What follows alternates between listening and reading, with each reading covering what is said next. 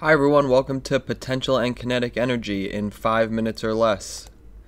So energy is defined as the ability to do work. So for something to happen, you need energy to be able to make it happen. When you don't have energy, nothing's going to happen.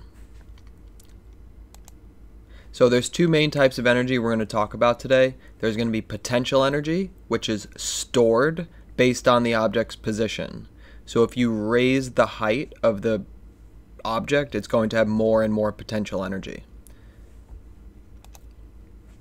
For example, a sledgehammer has a lot of potential energy when it's in the raised position before you let it go to hammer something.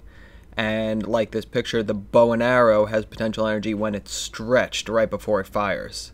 So the more you stretch it, the more energy it's going to have when it eventually releases. If the person were to not stretch it, then it wouldn't go anywhere a ski lift is a great example because as the person is dragged higher and higher up the mountain, they're gaining more and more potential energy.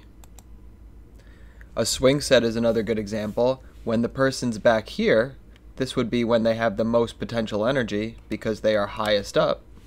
And then all of that energy is translated into speed. So the further up they are, the faster they're going to end up going if the potential energy is due to a stretching or a compression, like in a spring or a rubber band, or maybe even like a bow and arrow, since it's got that string, we call that elastic potential energy because it's you're you're stretching something.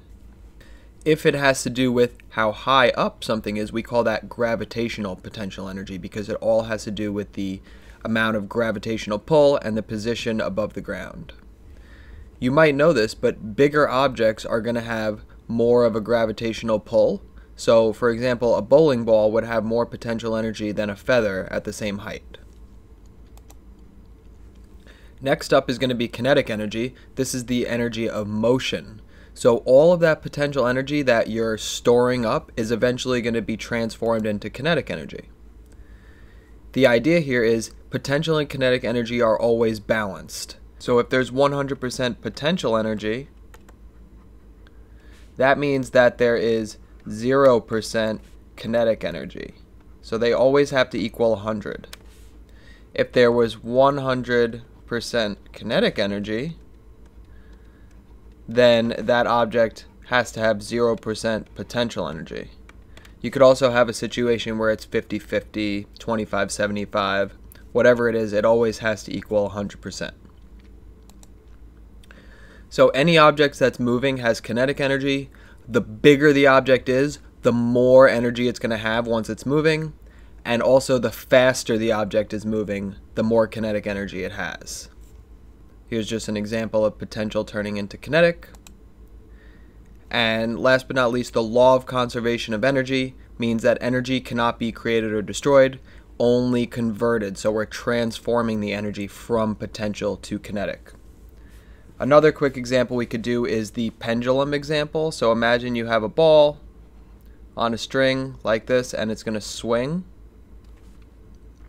So it could be in position 1 in the beginning of the swing and then eventually it'll be in the middle at position 2 and then it'd be eventually here at position 3 and then it would just go back and forth so it swings back and forth right so at this point it would be 100% potential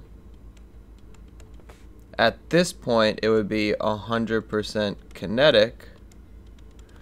And then at this point, it would be 100% potential again because it's just up on the other side. So it transforms within one another. If you were to add a position here, right, that spot right there and this spot right here, that would be 50-50 because the potential energy is transforming into the kinetic between 1 and 2 so it will gradually change and then it will gradually change back. Alright, hope you thought that was useful and I will see you on the next video.